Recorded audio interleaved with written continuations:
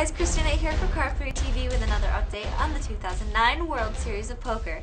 Two more bracelets have been awarded and one went to the winner of event number 24, the $1,500 buy-in and no limit hold'em event, and Pete the Greek Vilandos walked away with a first place prize of $607,000.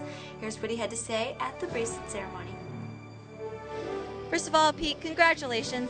Now, you won a bracelet in 1995, now in 2009. How did they compare?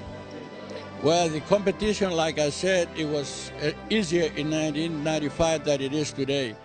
It's larger field, and people in the internet they know a lot more things uh, that they used to know the time that we used to play poker in 1995. But uh, I went through. Uh, I enjoyed it very much. I played very hard. I was focused always. I knew exactly what I was doing and how I'm going to play a hand. I got lucky. What kind of changes have you had to make since then till now with the new influx of educated players?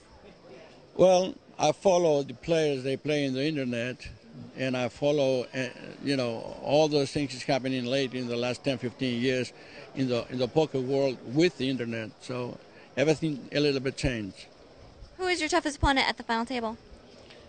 Uh, the fellow the I played it head up. It was very tough. Very good player very world class player.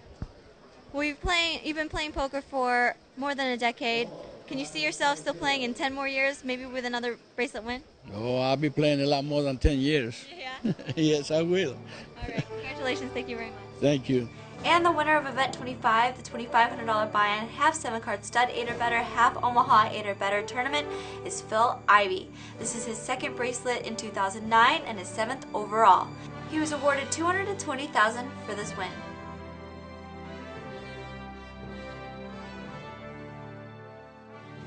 There are two final tables playing out today. One is for the $1,500 buy-in limit hold'em event and the $5,000 buy-in Omaha 8 or better event in which Scott Clements is currently the chip leader.